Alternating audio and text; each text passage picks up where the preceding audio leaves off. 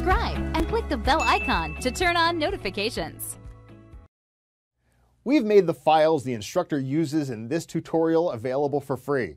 Just click the link below in the video details to get these. Hello everyone and welcome back to this course on Word 2019 Advanced.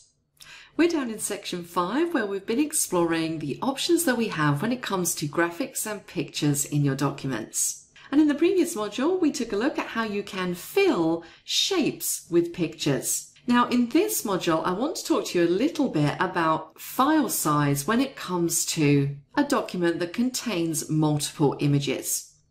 One thing you need to be careful of if you do have a document like this that has a lot of graphics in it or photos that you've added is that the file size can get really huge. So if we take a look at this particular document that I have open on the screen, which is our travel newsletter, I've got quite a lot of images in here. Now these ones at the top seem fairly small, so you might think, well, they're not going to take up too much space.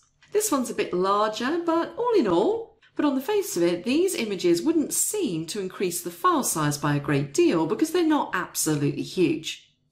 However, let's jump in and take a look at what the file size is currently at. If we jump up to the File tab and go down to Info, in the Properties section, I can see the size of this particular document, and currently it's a whopping 43.6 meg. Now that is a pretty large file. And what you will notice is that if you do have a document which has quite a few pictures in it, you'll start to notice some lag. So when it comes to things like saving, it will take a little bit longer. If you have this document automatically uploading into OneDrive or cloud storage, you might find you get a delay as it does that. So what can we do about this if we want a nice document with lots of really high quality images in it? Well, there is something we can do to help keep that file size down.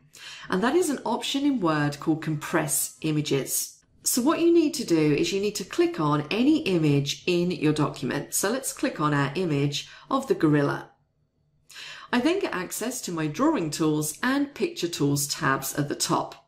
And again, I can utilize either of these. So I'm going to jump into Picture Tools. And in the Adjust group, you'll see you have an option to compress pictures. And as I hover over, it says compress pictures in the document to reduce its size. So if I click this option, I get two compression options at the top. I can choose to compress just the picture that I'm clicked on, which is what I currently have selected, now the second option in here is a really important one, delete cropped areas of picture. If you're trying to reduce the file size of your document, it's a good idea to have this option ticked. Because if you don't, essentially what happens is that when you crop a picture, like we did with this gorilla picture, if you remember we went up to the crop tool, we filled and then we cropped. If you don't have this option selected, even though you can only see the cropped area, it means that the entire high definition picture is still floating around in the background of this document and adding to that file size. So always make sure that when you are cropping pictures that you select delete cropped areas of picture to keep that file size down. You then have some options with regards to the resolution of the pictures in your document. And of course, the higher the resolution, the more space that's going to take up, the bigger the file size. So sometimes it is a bit of a balancing act with regards to the quality of the original picture and trying to keep that file size as low as possible. Now, I always like to select this top option, which preserves the quality of the original picture. But what I'm going to do is I'm going to untick the apply only to this picture option because I want to compress all of the images in this particular document. I'm going to click on OK. So let's go and take a look at what our file size is now. I'm going to go back up to File, into Info, and look at that, we're down to 15.3 megabytes. So quite a difference there. We've managed to shave off about 25 meg of file size. If I want to compress it even more, if I go back, I may decide that I don't need a super, super high quality. So I can click on a picture again go up to Format and into Compress Pictures once more. I'm going to take the tick out of this top box and I'm going to utilize this print option. So it says excellent quality on most printers and screens. So I'm going to say print, which is a slightly lower resolution. Click on OK. I'm going to save my document. And let's take one more look. File, Info, and now we're down to 12 meg. So very quickly, we've managed to shave off a lot of that file size.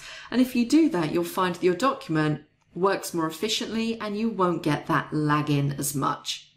So just be aware of that, particularly if you have longer documents which contain lots of images, make sure that you choose to delete the cropped areas and also compress all of the pictures to a quality that's suitable for you. That's it for this module. I will see you in the next one. If you're not a subscriber, click down below to subscribe so you get notified about similar videos we upload.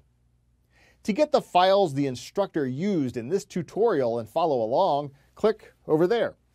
And click over there to watch more videos on YouTube from Simon Sez IT.